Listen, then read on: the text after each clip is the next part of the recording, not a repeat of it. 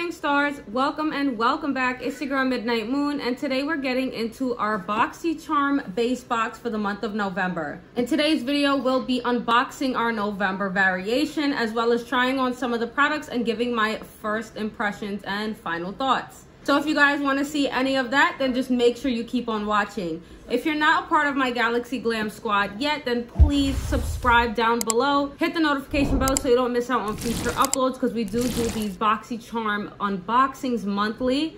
Show your support, give this video a huge thumbs up and share it with friends and leave a comment at the end of this video and let me know if you like the look that we'll be creating today or have any of the products that we'll be trying today. With that being said, let's jump into it. Don't give a about paparazzi, baby. You know they always trying to get me. A million dollars looking icy.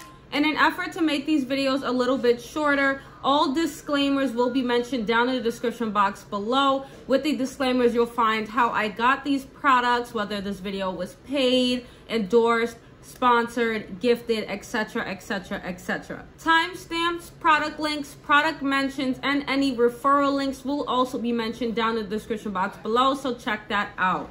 If you guys are new to BoxyCharm, BoxyCharm is a monthly beauty subscription box. There are three subscriptions to choose from. There's the base, the premium, and the luxe, which is a quarterly upgrade to the base box. As I mentioned earlier, today we'll be talking about the base box, which retails for $27.99 with five full-size products. You get one choice a month on choice day, and there are some additional taxes and fees, so do keep that in mind. When signing up with BoxyCharm, you guys will be filling out a beauty profile. This profile basically curates the products every month for you. Again, you do get one choice a month and BoxyCharm will choose the rest of the products for you. With that being said, my boxes are gifted to me by BoxyCharm for review, so mine are not curated to me. So now that I've let you guys know a little bit about BoxyCharm, let's jump into our unboxing for the month of November. So again, this is our base box for November. In every box, we do get a little pamphlet that tells us the theme of the month. The pamphlet will also tell you all the products you received, a little bit more about them, where you can find them on social media, and the pricing. This month's BoxyCharm theme is It's Giving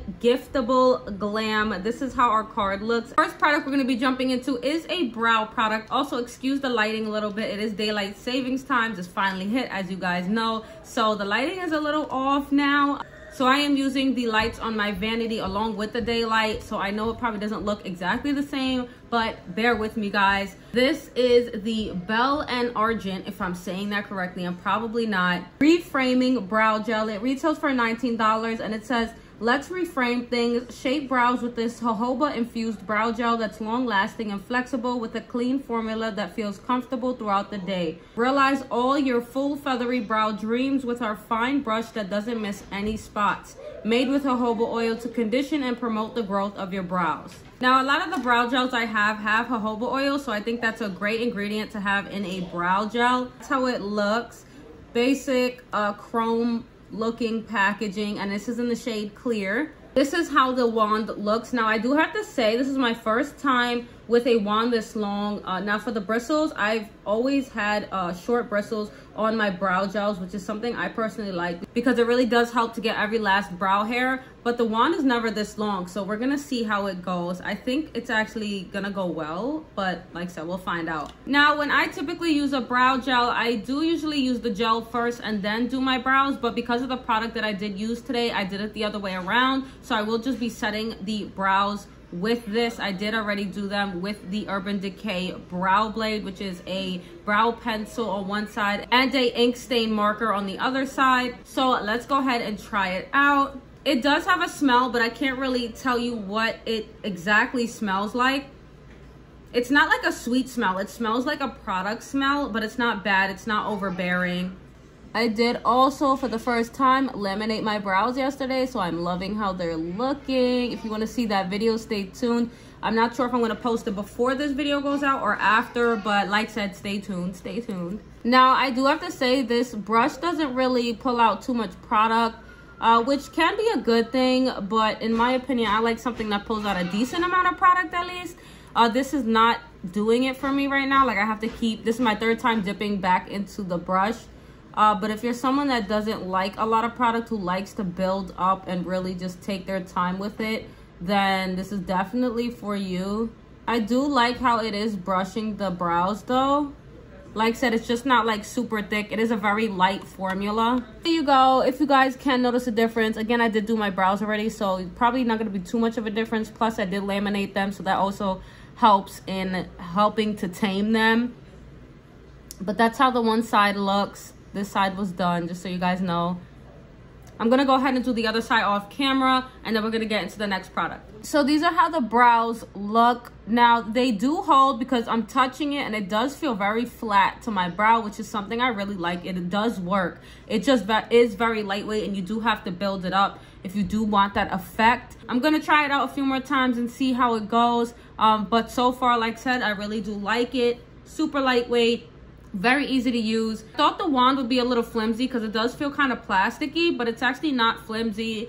Uh, it may be a little flimsier on thicker brows. Again i did just laminate mine so they're a little softer uh, than normal brows. Uh, so just keep that in mind but so far i love it. Now the next one we're gonna get into there's not too much makeup in here so i am gonna use a palette from my collection. We're to use two palettes actually and create a look today. But the next product is the Ofra Cosmetics Midi Palette Face It. I actually am super excited for this one because I have not tried an Ofra Cosmetics product lately and I see them so much in BoxyCharm but I personally have not gotten one until now so I'm so excited I've heard their formulas are beautiful and this is actually a contour highlighter and bronzer so I think that's really cool to have something like this in your collection so we're gonna go ahead and try it out. So again, this is the Ofra Cosmetics Face It Midi Palette. It retails for $35. It's actually not too bad for a three pan palette. And it says, bring the vacay to you with this curated complexion trio to sculpt, warm, and highlight. This palette features buildable matte contours and soft shimmer bronzers, perfectly coordinated for light, medium, and deep skin tones. So as you guys heard, there are different uh, shades to the palette. I have the medium which should work very beautifully on my skin. Feels pretty durable, which I like. I love like a good feeling hefty palette. And it does come with a compact mirror and then these are your shades. Of course, this is the highlighter. I believe this is like one of their most famous highlighters, so I'm super excited to have it. This is Rodeo Drive. We have a contour, which would be this one and a bronzer which is this one. The bronzer does have some like shimmer reflex no glitter. So it's supposed to really add that nice warmth and glow to the skin. I did cream contour already but we're just gonna lay it over our cream contour already because i do like to put both just to set it. Just to let you guys know these other two shades this is the contour which is san fran and then this is the bronzer which is pacifica we're gonna go in with the contour shade first. I have my contour brush and let's go ahead and do it. Also, I do have blush on, so just keep that in mind again.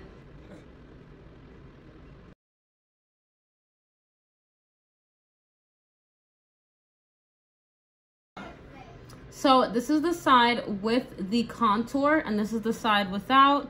I think it did a nice little job on carving it out a little bit more. I like how it looks. It sits over the cream products very well and the foundation that I'm using, which is the Anastasia Beverly Hills foundation. It is mixed with the LA Girl Pro Color Foundation Mixing Pigments. So there's two types of formulas in there, but um, it's working perfectly over those. Love it, love it.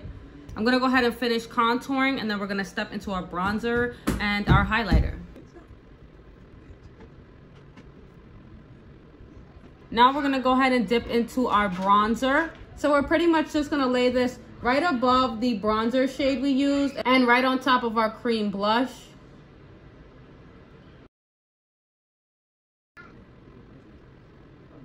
Now we're gonna jump into our last shade in the trio, which is this middle highlight shade. And this is again, Rodeo Drive. Now let's see what the hype is about on this highlighter.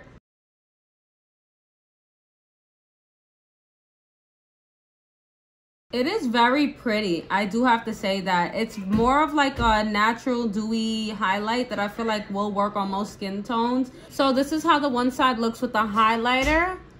Absolutely stunning. I love it.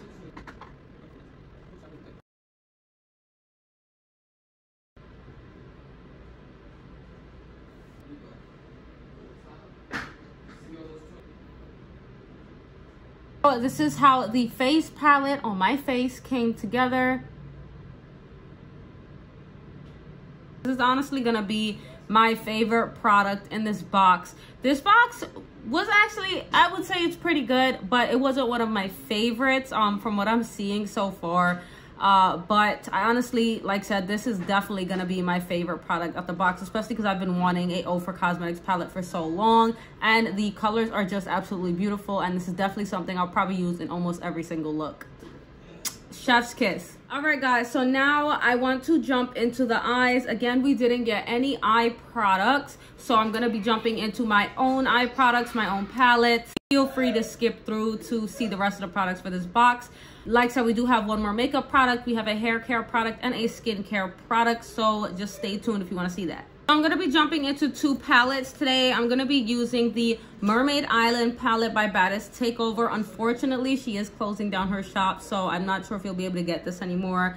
Um, but she was amazing. I wish she didn't shut down. Um, not sure why, you know, things happen. It happens at the end of the day. But um, yes, we'll be using the Mermaid Island palette from her. And the BH Cosmetics Party in Puerto Rico palette. I'm going to go ahead and set my eye base, which I'll be using the CoverGirl Outlast Extreme Wear Concealer in shade 845 Warm Beige. And we'll be right back to jump straight into the eye look. The Party in Puerto Rico by BH Cosmetics. And we're going to jump into the first shade, Castillo, which is this like kind of reddish brick brown right here. We're to use that shade for our transition.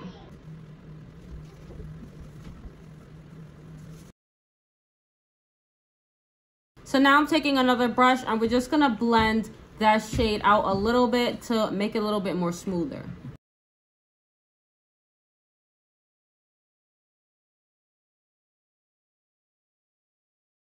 Next shade we're gonna jump into is this one. I don't know how to say it, um, but I'm gonna try to. Cayo Icacos. I'm gonna use that to blend out the Castillo shade we just used.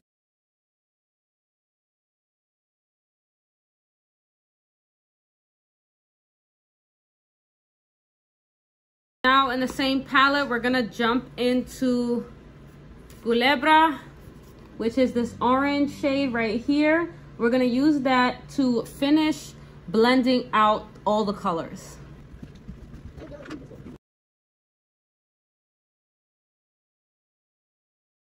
Now we're gonna step into our Mermaid Island palette from Baddest Takeover. We're gonna jump into the shade Starfish right here. We're gonna put that right over the shade Castillo, which we used in the other palette for our transition for our crease. Now we're gonna go back into our concealer and we're gonna go ahead and cut our crease to add a couple more colors. Now we're gonna jump into our BH Cosmetics palette, Puerto in Puerto Rico. We're gonna take the first brush we used, for that first color Castillo and we're gonna jump back into Castillo and put that on the outer V of our eye to keep that dark and deep.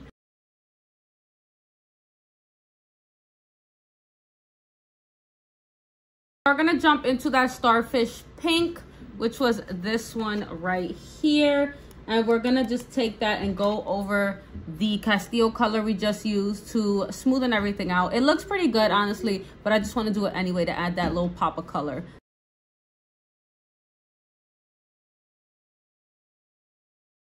So I did bring that pink over just a tad bit if you guys can see it. So the next shade we're going to jump into, we're going to go back into our BH Cosmetics palette. We're going to go into Condado which is this very pretty yellow shade right here. And we're going to use that from the inner lid almost all the way up to the middle, not all the way though.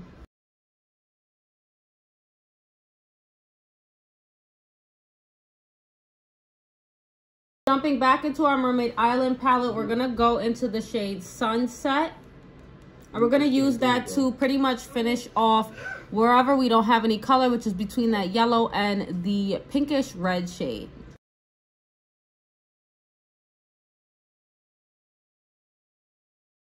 We're going to go into our BH Cosmetics palette. We're going to go into San Juan, and that's going to be our shade for our inner corner. The eyes are done. Well, at least for the eyeshadow look, we're going to go ahead and do a couple products off camera. So again, like said, we didn't get any eye products. And then we'll get into our next product for our boxy charm. For liner and waterline, I'm going to use the Tarte Cosmetics Double Take Awake Micro Liquid Liner and Brightener. For mascara, I'm going to use the Araceli Beauty Monarca Mascara glue, we're going to use Super Stronghold Eyelash Adhesive in Clear from I Envy by Kiss and the Chiseled Beauty Lashes in Style Frida. Alright guys, so we are almost done. I did add some lip liner and I set my face. So just to let you guys know what I used for that. We used the Toy Factory Super Set hyaluronic acid setting spray. And for lip liner, we use the Italia Deluxe Makeup Ultra Fine Lip Liner in Natural Beige. If you guys do want to see the rest of the product details or more info on them, then I will make sure to have some photos up when this video goes out. So make sure you're connected with me on Instagram at Midnight Moon Makeup. Now we're going to jump into our final makeup product, which is actually more like skincare makeup. Next product we have is the Lip Slick Fruit Lip Oil by Sophia and Mabelle. This is what it looks like. And we did actually get a Sophia and Mabelle product in our Ipsy Glam bag. I'll have that video linked up here somewhere. So just click on it if you guys do want to see that review. And I absolutely love that primer. So I know I'm not going to be disappointed. At least I hope I'm not going to be disappointed in this product. Um, and this is in the scent shade Yuzu. This is what the actual packaging looks like. Very simple, but very pretty still. And this retails for $22. And it says, so you think you're slick? This lip oil gives you soft, glossy lips with no tackiness. It's lightly colored and applies to the lips like a slick, transparent oil with a fruity twist. Use it for a nourished look or in place of lipstick on days that call for a chill look. This is what the applicator looks like.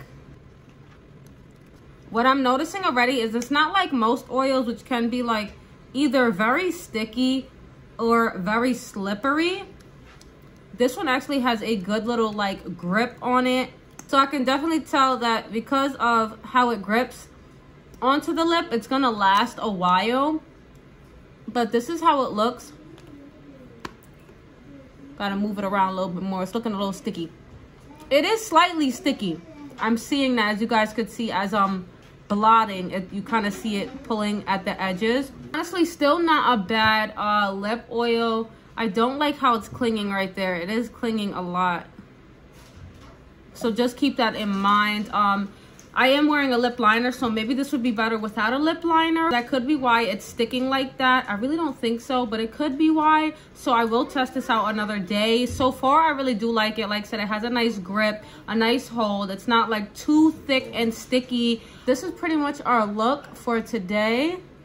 Again, I'll have the product details and this look and close-ups and all that good stuff over on Instagram. So follow me there. I'll also have a little transition because you guys know I've been doing my transitions lately.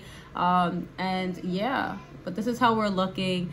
Absolutely obsessed with that Ofra Cosmetics palette though, guys. That was everything. So now let's get into our last two products for our base box. And then we'll give our value and final thoughts and impressions of this month's box fourth product up in the box is this baby, which I'm super excited for, but I have so many lip scrubs, so uh, this will have to, probably, it'll probably be in use, but it's not going to be used right away, so I will open it and show you guys how it looks. If I'm saying it correctly, this is the Aminnah Macaroon Lip Scrub. It retails for $18, and it says, looking to have juicy and smooth lips, this lip scrub is just for you. Made with organic and all-natural lip-safe ingredients, this scrub smells just like a freshly baked macaroon delight. And guess what? You can lick it off because it's made of real sugar. I think that's amazing. I have a few products that you can actually do that with, a few lip scrubs, um, and I have some that you can't. So it's really cool that you can do that if you know that was the option or you do get it in your mouth. It's it's safe, it's it's not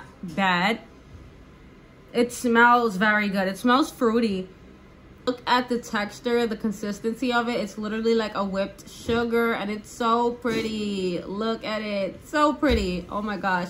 Even the packaging like i love love love this. I've never heard of this brand. I've never tried this brand but i'm pretty sure after this scrub i'm gonna be in love.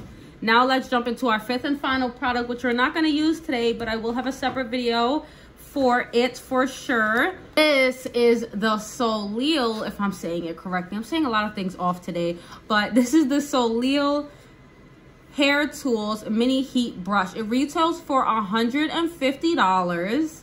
This tool is perfect for on-the-go styling and touch-ups. It's as powerful and easy to use as a full-size tool, but compact enough to carry with you everywhere you go. The rapid heat time and heat-resistant bristles allow this cute, handy brush to glide through your hair quickly and easily. Safe for all hair types. Welcome your new favorite hair tool.